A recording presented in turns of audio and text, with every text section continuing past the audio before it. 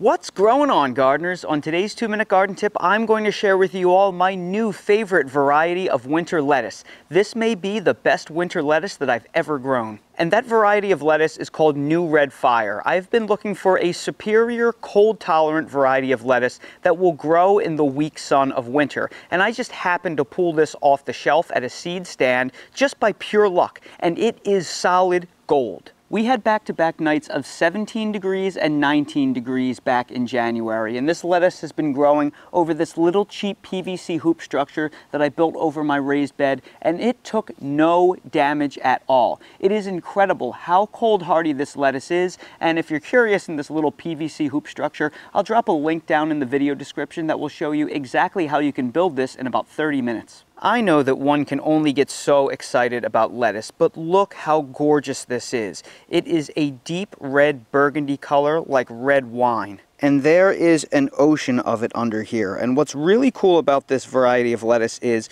you can choose to grow it as a heading type of lettuce, or you can grow it cut and come again style where you just take some scissors and you snip off what you want and then it will continue to grow back all winter long. So let's harvest a couple of these beautiful heads for dinner.